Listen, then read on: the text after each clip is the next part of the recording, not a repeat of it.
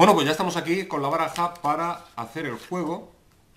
Eh, vamos a verlo. En un principio, baraja de dorso rojo, totalmente mezclada en un principio, pero la vamos a mezclar un poquito más. Vamos a ver.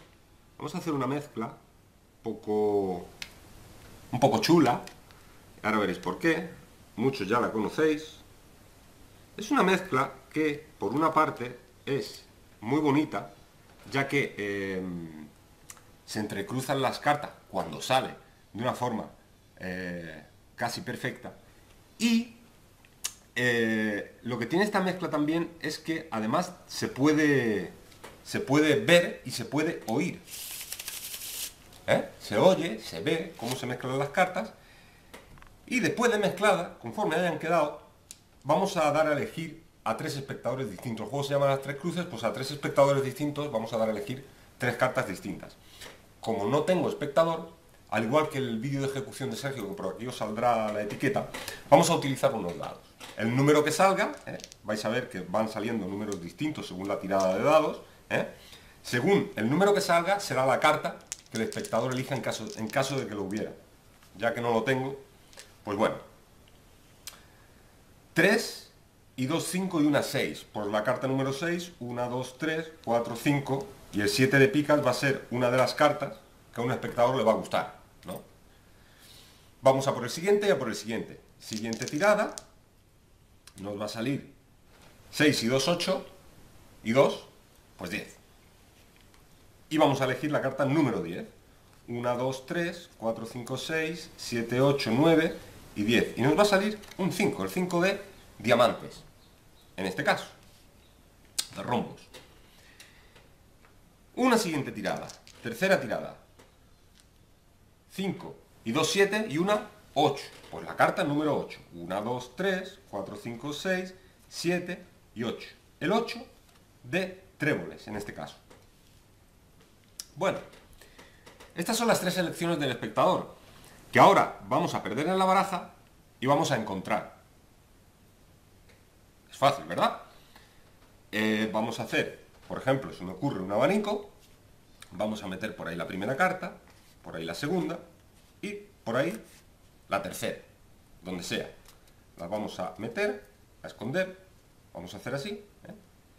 Y cartas perdidas. Ahora hay que encontrarlas, claro, esto es una estupidez, porque las hemos visto. Porque esto es un juego que el espectador ve en todo momento cómo se mezclan las cartas, qué cartas hay, ¿eh? Para evitar confusión, pues se muestran, ¿no? Pero claro, sería una estupidez por parte del mago, que lo es. Pero no se trata de encontrarlas así porque sí, se trata de encontrarlas porque vamos a revelar un gran secreto de la magia que es que el mago marca las cartas cuando el espectador las elige. ¿Cómo? Con una marca invisible al espectador, pero visible al mago. Esto, hasta, ahora, esto es lógico, ¿no? Esto es cierto, esto es verdad, es lógico. El mago ve la marca, pero el espectador no. Bueno, vamos a ver. Vamos a localizarlas. Porque si fuese sin marca, a pesar de verlas, sería muy difícil localizar exactamente cuál es, aunque las hayamos visto. Pero bueno, vamos a ver... A ver, aquí, aquí, aquí, aquí, aquí hay una marquita. no se ve, ¿verdad? Es difícil, perdóname, pero es difícil hacer una gracia a una cámara. Pero bueno, os aseguro que al espectador, según lo montes, le hace gracia. Seguimos, seguimos, encontramos otra carta marcada, seguimos, seguimos, otra carta marcada.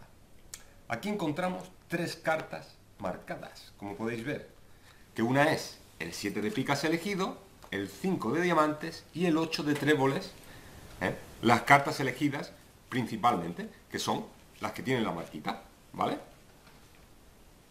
Lógico, ¿no? Se marca, se encuentra. Está aquí bien.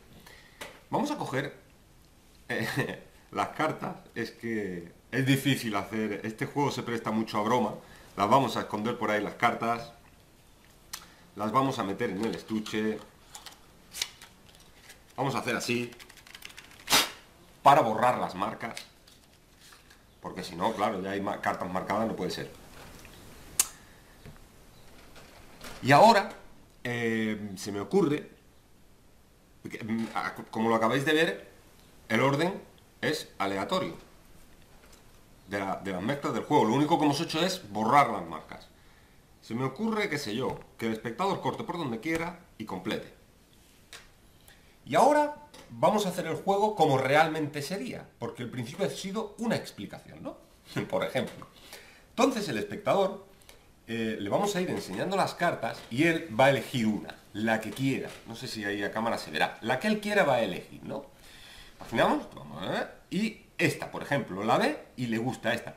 Puede ser esta, puede ser esta, puede ser la que quiera, anterior, posterior. No, no, el espectador quiere esta, esta carta. Esta va a ser la carta única que yo no voy a ver. ¿Vale? Y ahora el espectador es el que va a decirme alto, porque yo voy a riflear así las cartas para perderla. ¿Vale? En cualquier sitio. Entonces, si riflea la carta, el espectador dirá alto. Ahí, pues ahí, ahí, ¿ves? Ahí, choca, coincide, y ahí la perdemos. Como ves, montón de cartas, ¿eh? y ahí perdidita va a estar. Se pierde. Carta perdida. No solo eso. Si quieres, mezclamos. Las ves, ¿no? Posiblemente verás tu carta pasar. El mago desconoce, de verdad desconoce totalmente cuál es su carta. Después de la mezcla, podemos cortar y completar. Es imposible localizar la carta, como el juego realmente se hace. Pues no es imposible, porque, si os fijáis, en el propio estuche, desde el principio, que ha estado aquí, hay una, una carta marcada. Hay una marquita en la carta. Vamos a hacer así. ¡Pum! Y esté donde esté la carta, la carta se va a marcar. Si hacemos una extensión, podremos ver una y solo una de las cartas. Aquí está. ¿Lo veis? Marcada. No sé si lo veis. Y esta es o tiene que ser la carta elegida por el espectador, que como yo no he visto, el 8 de tréboles. Tiene que ser el 8 de tréboles. Ahora cuando revise el vídeo, veré si realmente escogió el 8 de tréboles, que tiene que ser porque es la única que hay marcada de todas. Como veis, borramos todas las marcas que había en esas tres y solo quedó una. Que en este caso, eh, aquí están todas las cartas, las podéis ver. Y en este caso, el 8 de tréboles elegido, la única marcada. Este es el juego, señores. Espero que lo hayáis disfrutado, que os guste. es un juego que merece mucho la pena. Se puede hacer, como veis, varias veces. Y, eh, y la verdad es que da muy buen resultado. Así que si queréis ya, nos vemos en el siguiente. ¡Chao!